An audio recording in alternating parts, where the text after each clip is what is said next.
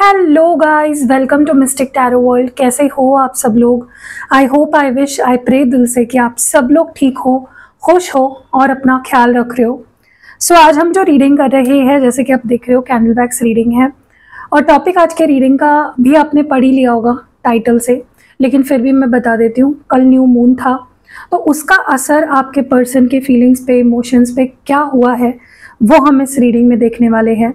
But ये एक general timeless और कलेक्टिव रीडिंग है। अगर आपको पर्सनल रीडिंग लेनी है तो मेरा नंबर आपको यहाँ पे स्क्रीन पे भी दिख रहा होगा।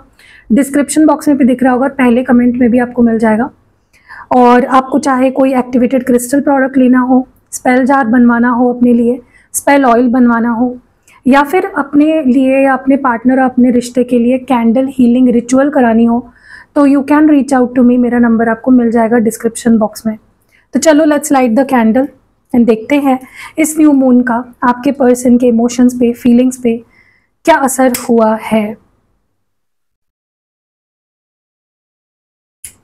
Okay okay. चलो let's let's see full moon का आपके पर्सन के फीलिंग्स पर सॉरी न्यू मून का सॉरी गाइस न्यू मून का आपके पर्सन के फीलिंग्स पर क्या असर हुआ है? लेट्स सी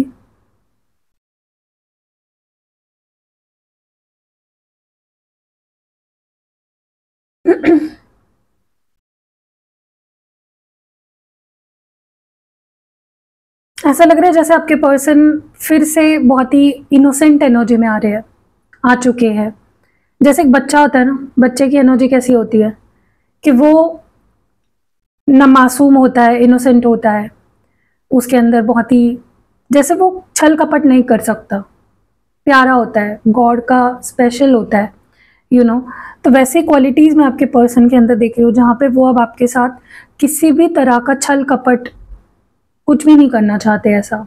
वो बस चाहते हैं आपको खुशी देना, आपको हील करना और कहीं ना कहीं पास्ट में इन्होंने जो गलतियाँ करी है या अभी तक जो गलतियाँ करते आए हैं, वो उसे बदलना चाहते हैं, वो अपने आप को सुधारना चाहते हैं।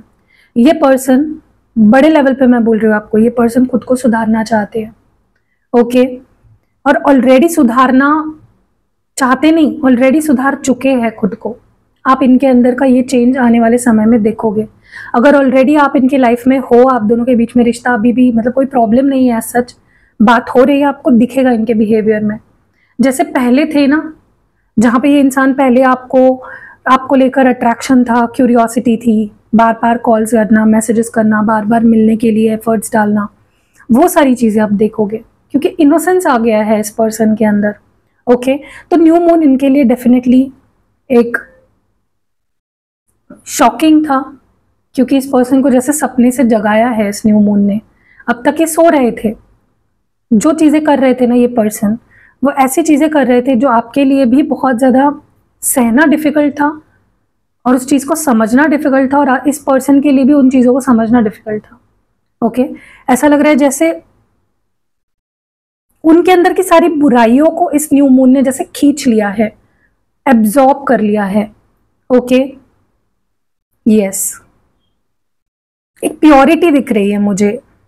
ऐसा लग रहा है जैसे ये पर्सन अब इनके अंदर अब आप ना मिराक्युलस चेंजेस देखोगे। मतलब जैसे होता है ना कि हम बोलते हैं ना कि चमत्कार होना चाहिए।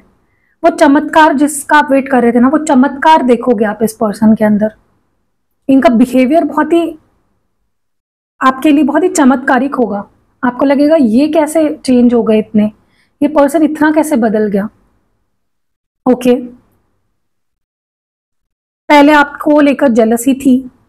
आपको अगर किसी और के साथ सोचते, देखते, आपको किसी और से बात करते हुए देखते थे, लेकिन बीच बीच में मे बी इस पर्सन का वो रूप आपने नहीं देखा। उनको कोई फ़र्क नहीं पड़ता था। जलस नहीं होते थे इनसिक्योर नहीं होते थे, आपको खोने का डर नहीं रहा था इस पर्सन के अंदर। लेकिन इस न्यू मून का सबसे बड़ा असर यही हुआ है कि इनके अंदर डर बैठ चुका है आपको खोने का। रिग्रेट तो है ही, पछतावा तो है ही अब तक जो भी किया है इन्होंने आपके साथ, लेकिन डर बड़े लेवल पे देख रही हूँ मैं। ओके ऐसा लग रहा है जैसे ये पर्सन डर रहे उन्हें इस बात का भी बुरा लग रहा है कि उन्होंने आपके साथ आज तक जो भी किया, उससे कुछ अलग करना चाहिए था डिफरेंट करना चाहिए था। और ऐसा भी लग रहा है कि आगे उन्हें जो भी आपके साथ करना है, वो सही करना है। तो आप देखोगे कि ये आपको किसी और के साथ बात नहीं करने देंगे, आपको किसी और का होने नहीं देंगे। जेलसी बहुत दिखेगी आपको, इनके अंदर डर दिखेगा खोने का। ओके इनके अंदर ना मैं एक बैलेंस देख रही हूँ। एक आपके साथ दिल से कनेक्शन भी इनका बनेगा, जो पहले से ही था, लेकिन वो स्ट्रांग होगा और मज़बूत होगा ये कनेक्शन और जो लस्ट है, या कह सकते हो जो अट्रैक्शन फ़िज़िकल अट्रैक्शन है, जो क्रेविंग है आपसे फ़िज़िकल होने की, वो भी इनकी बढ़ जाएगी। ये ज़्यादा आपके साथ अब जुड़ने वाले हैं। ज़्यादा बातें होंगी, ज़्यादा मिलना होगा, ज़्यादा फ़िज़िकल इंटीमेसी होगी। ये आपको प्यार भी देंगे आपकी केयर भी करेंगे आपको अटेंशन भी देंगे आपके साथ फ़िज़िकल भी होंगे। एक कंप्लीट रिश्ता जिसे हम कह सकते हैं आपकी रिस्पॉन्सिबिलिटी भी निभाएँगे। ओके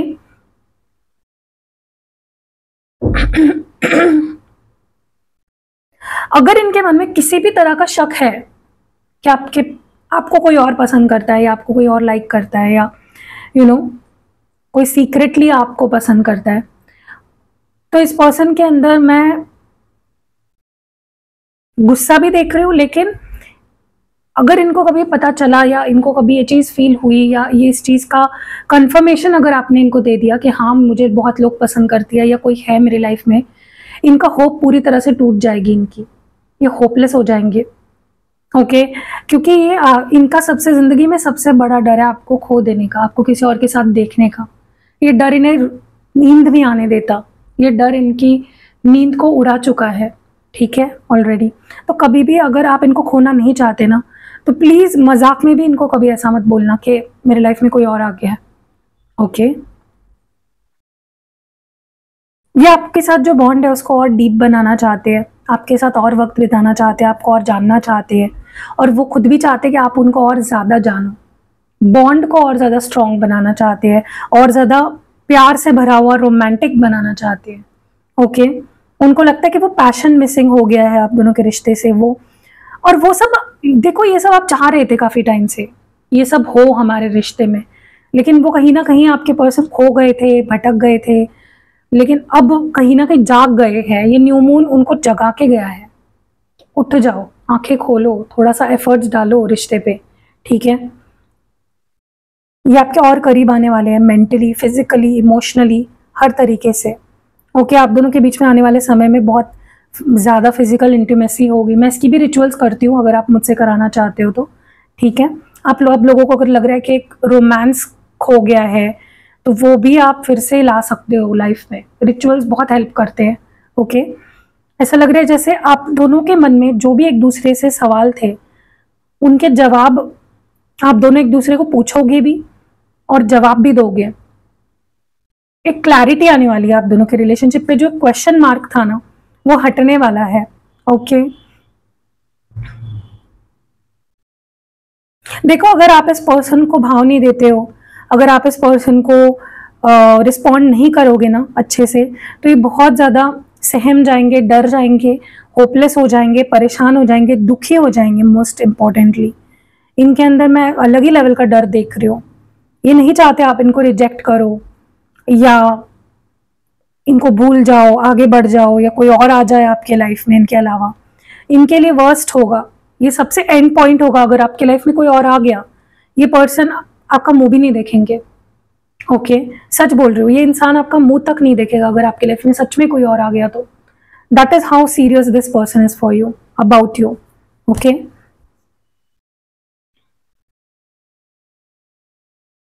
क्योंकि इनके लिए, इनका अगर टाइम पास होता ना आपके साथ तो इनको फ़र्क नहीं पड़ता, लेकिन ये सीरियस है। They very serious about you okay हाँ ये पर्सन अलग गलत डायरेक्शन में चले गए थे। आपके ऊपर से इनका थोड़ा सा अटेंशन कम हो गया था, या आपको इग्नोर करने लग गए थे। गलत चीज़ों में फंस गए, गलत लोगों के साथ फंस गए यू नो गलत जगह पे इन्फ्लुएंस हो गए। लेकिन अब सही सही दिशा में आ रहा है ये इंसान ओके अब आप देखोगे इनका अलग रूप पॉजिटिव रूप और वो रूप जो आप हमेशा से देखना चाहते थे। ओके? okay? आप देखोगे इनके मन में आपको लेकर जो भी खटास थी, गुस्सा था, या अगर कोई आपने गलती करी थी, जिसको लेकर या आपको लेकर माफ़ नहीं कर रहे थे, वो सब खत्म हो जाएगा। सब खत्म हो जाएगा। कुछ भी खटास, कड़वाहट, गुस्सा, नाराज़गी नहीं रहेगी इनके मन में। और आप अगर इनको लेकर गुस्सा थे आप सोच रहे थे कि नहीं, मैं इसको तो माफ़ी नहीं करूँगी, मैं तो इसको आने नहीं दूँगी अपनी लाइफ में, ये नहीं होगा, वो नहीं होगा, मैं इसके पास वापस नहीं जाऊँगी। वो कोई भी प्लानिंग आपकी नहीं चलने वाली है, क्योंकि कहीं ना कहीं जो बोलते हैं ना कि जब भगवान खुद चाहते हैं कि आपके लाइफ में आ जाए और आप दोनों खुश रहो तो आपकी मर्ज़ी नहीं चलने वाली, आपकी मर्ज़ी नहीं चलेगी ओके जो लोग आपके रिश्ते से जलते थे, जो लोग आपके रिश्ते को नज़र लगाते थे, जो आपके पर्सन को इन्फ्लुएंस करते थे, आपसे दूर रखते थे, उन सारे लोग, वो सारे लोग गायब हो जाएँगे आप दोनों के रिश्ते से। न्यू मून कहीं ना कहीं एक ब्लेसिंग भी दे रहा है आपको, कि आपके रिश्ते को, कि वो लोग जो आपके रिश्ते के लिए घातक थे, जो लोग आपके रिश्ते के लिए हार्मफुल थे, वो गायब हो जाएँगे। जो जलते थे, गुस्सा करते थे, या फिर आपके रिश्ते को नज़र लगाते थे, तोड़ने की साजिश करते थे, सारे लोग गायब हो जाएँगे। ओके हाँ थोड़े टाइम के लिए मे बी ये पर्सन आप दोनों के रिश्ते को थोड़ा सीक्रेट रखे, क्योंकि जलने वाले लोग बहुत हैं, आप दोनों के रिश्ते से।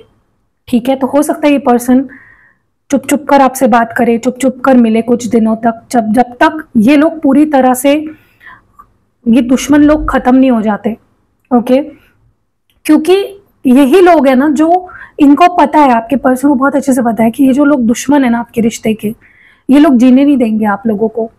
इसीलिए ये हो सकता है पर्सन आपसे ये भी बोले कि यार कुछ टाइम तक हमें चुप चुप कर बात करनी पड़ेगी, मिलना पड़ेगा थोड़ा सा सीक्रेट रखना पड़ेगा इस रिश्ते को, वरना फिर कोई होप नहीं है। वरना चीज़ें खराब होती जाएगी, वरना लोग हमारे रिश्ते को बर्बाद करके रख देंगे। ओके मुझे बहुत फ़िज़िकल इंटीमेसी दिख रही है। बहुत ज़्यादा आप दोनों फ़िज़िकल होने वाले हो। फिजिकली यू नो इन्वॉल्व होने वाले हो।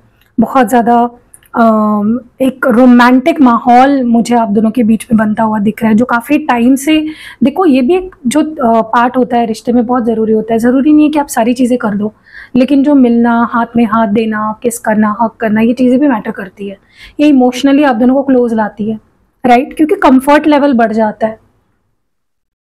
आप दोनों में भी ज़्यादा डेट्स पे जाओगे, एक दूसरे के साथ वक्त बिताओगे ज़्यादा से ज़्यादा। तो एक जैसे बहुत अच्छा समय आने वाला है आपके रिश्ते में। जहाँ पे आप दोनों dreamy world dreamy love life जीने वाले हो।